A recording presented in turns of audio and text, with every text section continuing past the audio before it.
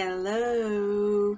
Today is day 26 of the 30 day comic challenge. Day 26 is a comic you wish would get a movie. And today this is all about the ladies, the ladies selection, because guys, yeah, you guys always tend to get the movies. And yeah, and then this is for definitely for uh, shout out to women of a different diaspora. Okay, for women who um, don't get the just recognition that they deserve both in comics and definitely within the movie industry. So this is my attempt to just say not because they're just women and not because they are women of color, but because they are deserving of it. And they should get this, but they keep getting looked over, or most of them. There's one that's that's relatively a new comic. So I'm going to start out with, you know, my faves. Here we go. Daughters of the Dragon. I I know we're getting or we got Misty in Luke Cage on Netflix and we're going to get Colleen in Iron Fist on Netflix. That's still not a movie. I mean it's a start, but it's still not a movie and it's still not them together. So I would definitely want to see a team up of Daughters of the Dragon, a movie not made for TV movie, not Netflix movie. I mean, an actual movie where we go to the cinema and see. Um, I would definitely love to see them.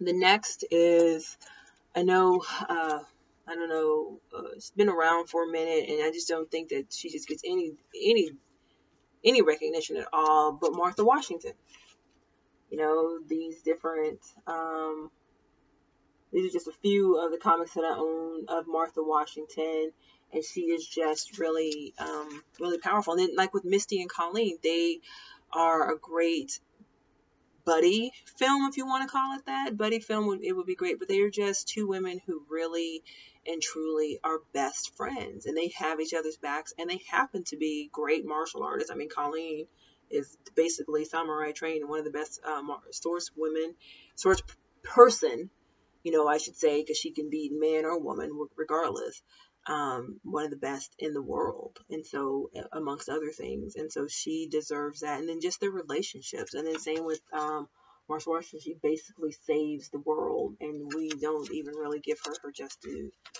Um, another one, and even though we do technically have the movie coming out, and if you've ever, if you followed me on Twitter or listened to some of the things I say, this is my Captain Marvel. This is who I want to see as Captain Marvel on the big screen.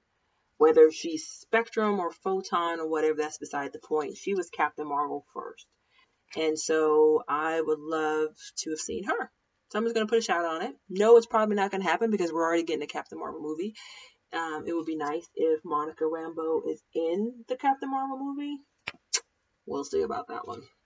And lastly, are two, uh, the series of books that I just absolutely love, and because of the, the so many different types of women that's in the books, women from different backgrounds, racial, social, economic backgrounds, sexual orientations. I mean, there's it's just a variety, and they work together. I mean, there's there's strife because it's always going to be strife just in groups, period, but not necessarily because they're women.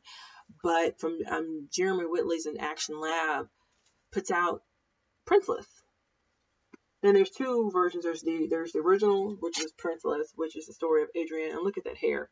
See, I'm trying to get mine like that, but it's gonna take a while. But it, um, Princeless, and then there's um, Princeless, um, the Pirate Princess, which is Raven's story.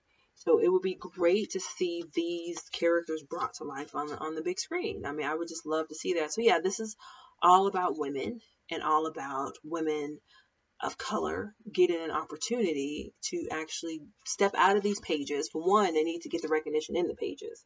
And but for two, to step out of these pages onto the big screen and be cast accordingly and correctly. And for those who really and truly love the characters, who can bring them to life so that they can um, maybe have, breathe fresh blood into them. So that's it for my um, for my day 26 of the 30 day comic challenge, a comic you wish would get a movie. Thanks, guys. Bye.